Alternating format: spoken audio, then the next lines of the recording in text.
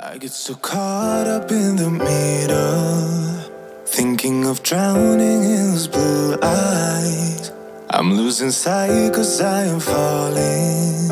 I'm so deep down, deep down. And it's not a lie that I die. I can't hide.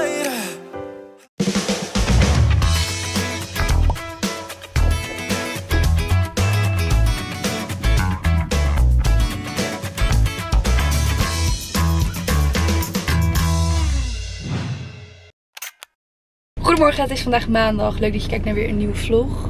Is nog steeds. Ik ga onderweg naar... Is dat een zin? Ik ga onderweg? Nee hè? Wij zijn onderweg naar Haarlem voor een heel leuk interview en leuke opnames. Kom dan. Pak hem dan.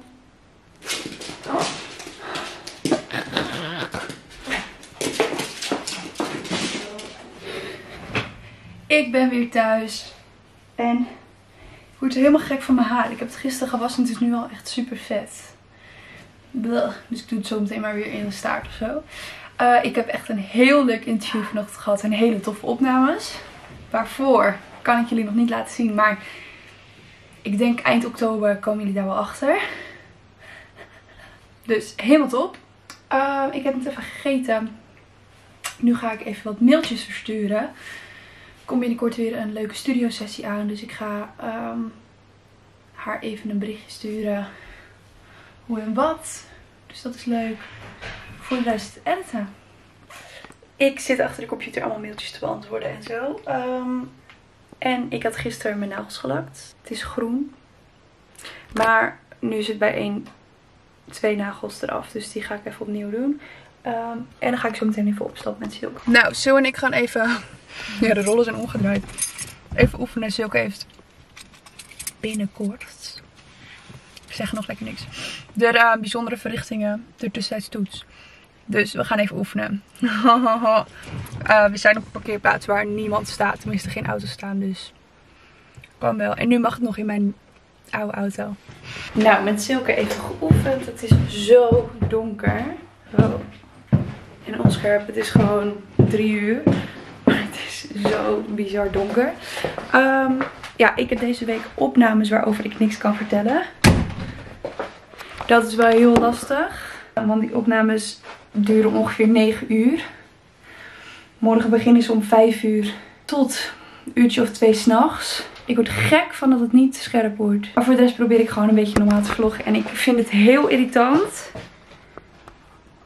dat hij de hele tijd onscherp is. Nou ja, um, verder met mailtjes beantwoorden. Saaie jongens. Oké, mijn nagels zijn weer helemaal knap. Alleen een beetje buiten de randjes gegaan. En ik heb ze kort geweten. Dus dit moest gewoon echt weer nagelijk op. En we vergeten even hoe boos ik net was op de camera. Omdat hij niet scherp stelde. Het was mijn eigen fout. Ik had een verkeerde instelling gedaan. Waardoor hij niet meer automatisch scherp stelde. En ik het zelf deed het moest doen. Maar dat hoort helemaal niet. Dus waarschijnlijk heb ik mijn dikke vingers ergens opgeklikt. Tijd om te eten. Eet smakelijk. Binnen mogen 30 personen in één ruimte zijn. Gezelschappen mogen niet groter zijn dan 4 personen, behalve als het om een huishouden gaat. Dat betekent dus niet meer dan 4 vrienden op een terras waar maximaal 40 mensen zitten. Goedemorgen, het is vandaag dinsdag en ik heb opgeslapen bij mijn vriend. Hij komt net thuis. Het is 12 uur. Um, ik ga snel even douchen en even een campagne schieten. En dan ga ik me klaarmaken voor geheim iets voor vanavond. Ik kan er dus niet over vertellen, maar het wordt wel heel tof. Uh, het is iets voor YouTube, een soort serie. Maar ik kan nog niet vertellen waarover en zo. Maar ik zal jullie wat spoilers, geen spoilers, hints op Instagram uh, geven. Dus ik ga even snel een broodje eten, douchen en dan campagne schieten. Oké, ik heb me opgemaakt en een campagne geschoten. Ik heb even deze trui aan en blote benen. Uh, ik ga even een lekkere smoothie maken. En ik dacht misschien wel leuk om even uit te leggen hoe ik dat doe. Zolang het toch gezond is, boeien of er van die proteïne geteutel bij zit of niet. Ja, dat is natuurlijk meer voor de spierpijn. Um, Maar ja, dan neem ik de spierpijn maar voor lief. Toch? Ik zal even alles erbij pakken wat ik er altijd in pleur. Ik doe altijd een beetje mango en aardbei. Nou, drie aardbeien of zo is echt meer dan zat. Even kijken. Het zijn wel kleintjes. Oké, doe ik even een kleintje weg. Auw, dit is zo scherp. Een kleintje weg. Ja, dan voor de smaak vind ik een mangootje of twee er lekker in. Nou, nog een kleintje erbij. Het geeft gewoon zo'n lekkere frisse smaak, toch? Een paar scheppen is meer dan zat. En dan doe ik er zelf altijd een beetje honing bij. Suiker is natuurlijk super slecht voor je. Honing zal ook niet heel goed voor je zijn. Maar anders vind ik het altijd een beetje zuur. Dan doen we de deksel erop. Dubbel checken of alles dicht is. En dan...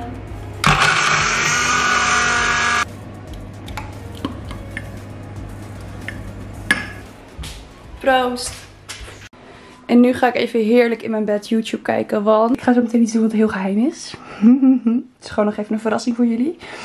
Maar dat is tot twee uur vannacht. Dus ik ga nu even ultiem relaxen. En dan tot twee uur vannacht aan de bak, jongens.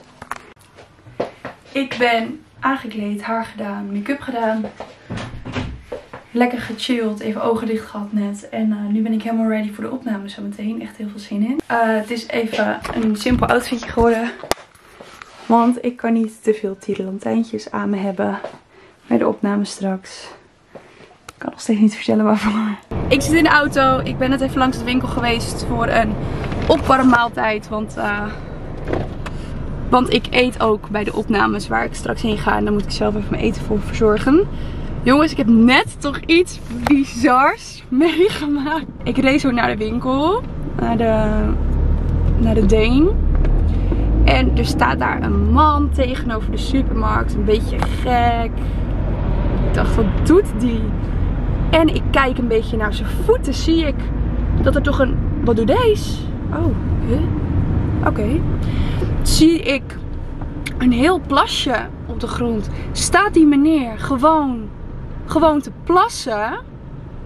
Op de stoep. Gewoon midden op de stoep. Hij was zo dronken. Nou, ik wist niet wat ik moest doen. Eigenlijk wou ik er iets van zeggen. Maar ik dacht, ja, die meneer die heeft behoorlijk wat op. Straks heb ik het gedaan, weet je wel. Dan krijg ik een hengst. Weer karma punten gespaard door dit even te melden. Goedemorgen, het is vandaag woensdag. En uh, ik was gisteravond om half drie thuis. Vannacht bedoel ik dan. Was heel vet wat ik heb gedaan. En ik heb al een beetje een sneak preview uh, vrijgegeven op mijn story. Die hebben jullie als goed zijn ook gezien.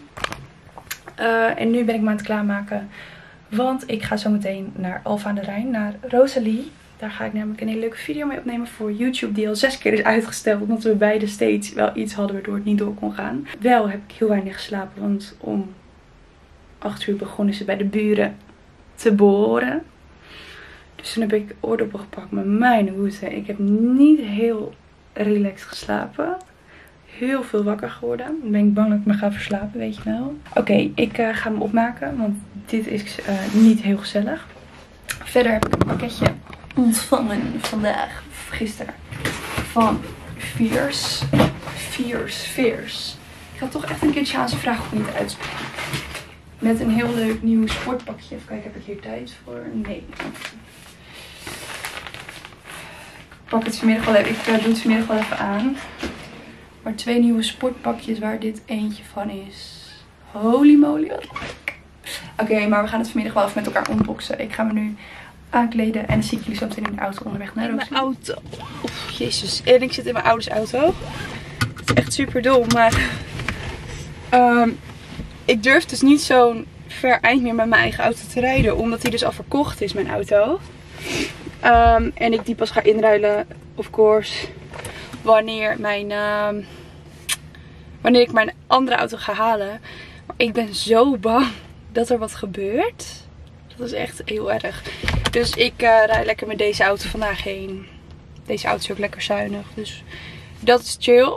Ik ga dus naar Rosalie. We gaan een hele leuke video samen opnemen. En uh, gaan er iets leuks van maken. Ja, deze setting herkennen jullie niet. Of misschien wel, misschien sommigen wel. Want ik ben bij Rosalie. Hi! We hebben net een super leuke uh, video opgenomen voor Rosalie account. Dus check die even. En eh, nu gaan we een hele leuke video opnemen voor mijn account. We gaan tie-dyen. Daar heb ik heel veel zin in. We gaan iets leuks maken, denk ik, hè?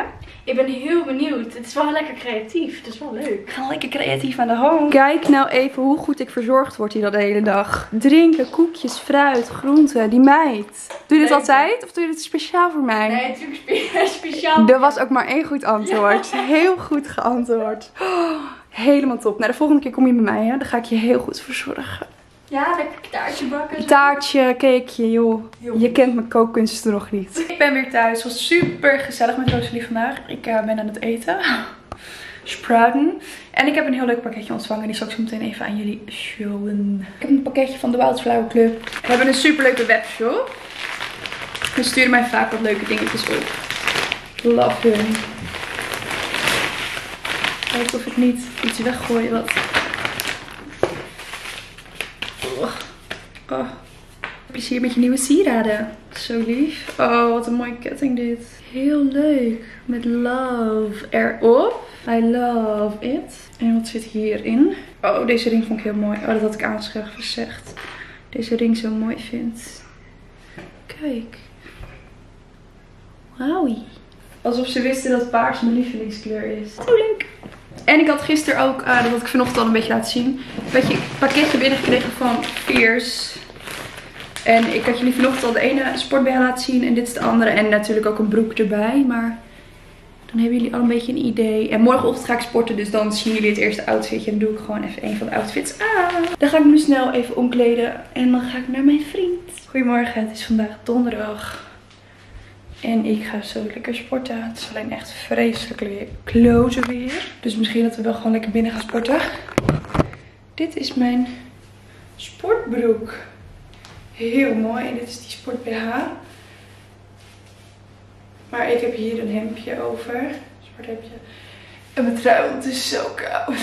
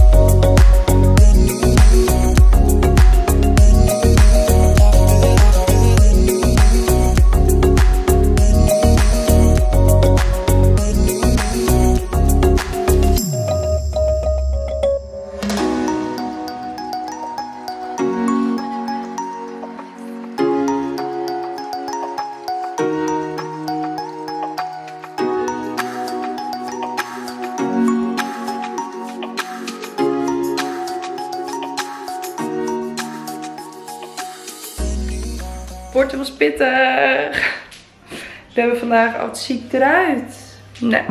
Mm. We hebben vandaag buik gedaan. En bo buik. Buik. Ik ga even douchen. En dan eh, mezelf even fatsoeneren. Dan heb ik straks een meeting. Met mijn manager. En eigenlijk best chill. Boemer, ga eens van die bank. Je bent smerig. Boemer, ga slapen. Dit is spelletjes dit is geen spel. Ga maar even op je kussen liggen. Ga eens op je kussen. Ga eens op je kussen liggen. Oké, ik ga dus eh, even douchen, even op kalafateren. En ehm, dan heb ik dus een meeting met mijn manager, dat was ik aan vertellen. Super chill. Eigenlijk had ik naar Hilversum heen gemoeten. Op zich is dat geen probleem hoor. Maar nu is het via de webcam.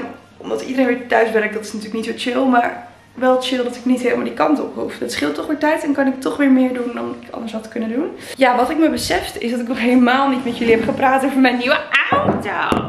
Volgens mij heb ik in mijn vorige vlog heb ik wel een uitleg gegeven. Maar die was een beetje onduidelijk. Het zit zo. Ik heb een auto uit 2003. En die heb ik toen voor een hele mooie prijs gekocht. En heel weinig kilometers. Ik had gewoon heel veel mazzel toen. En, ehm, en wat is nu aan de hand is, mijn auto wordt gewoon oud. Nou ja, dat is op zich niet gek. Hij is ook alweer 17. Dus uh, dat is niet normaal. Hij doet het echt nog heel goed. APK gekeurd en allemaal helemaal prima.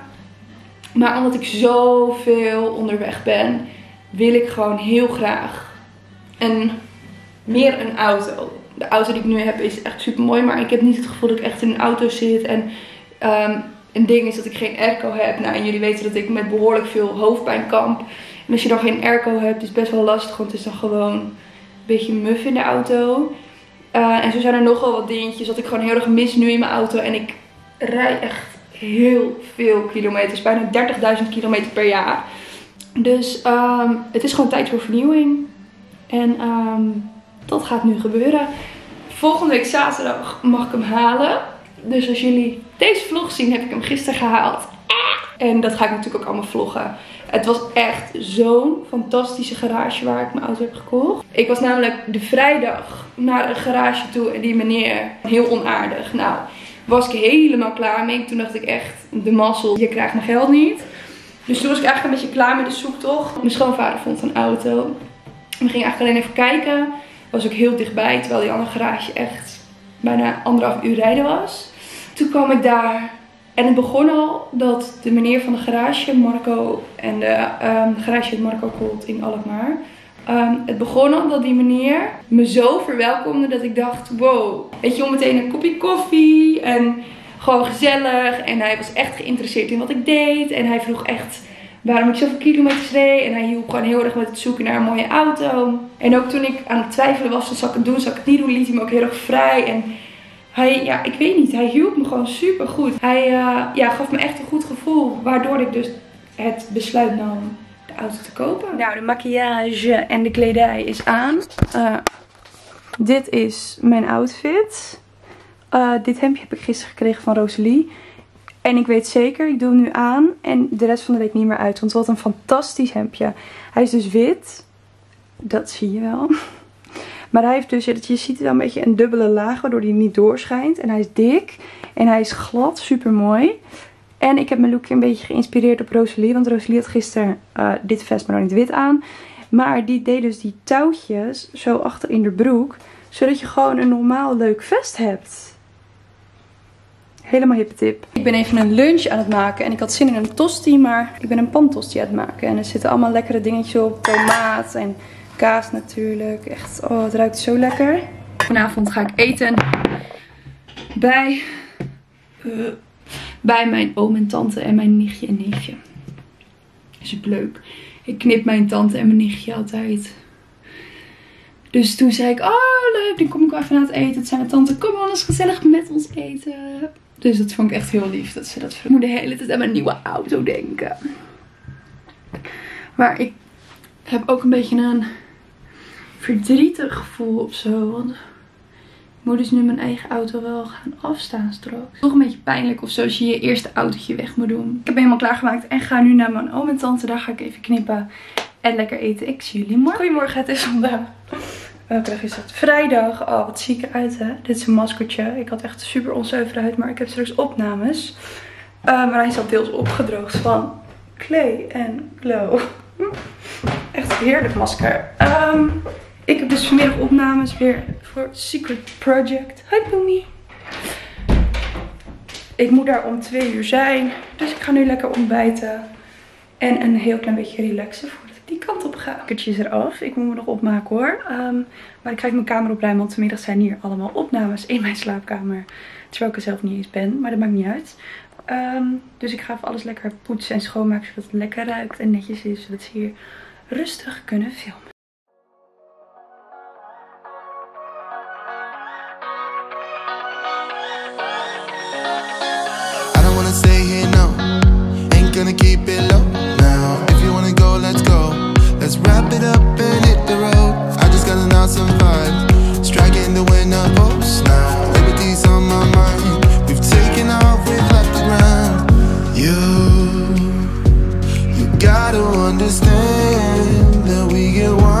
it's one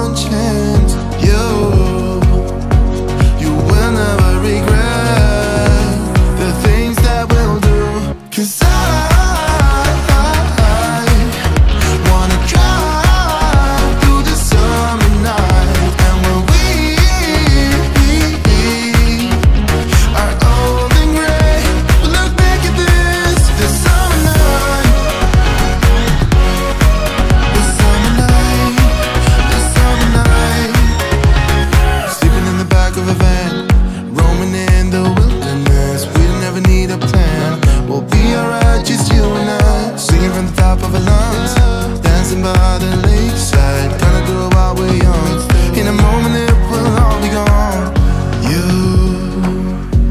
you gotta understand That we get one chance, one chance You, you will never regret Ik ben helemaal ready voor de opnames. Ik sluit bij deze de vlog af. Zie jullie heel graag volgende week weer. Doei doei!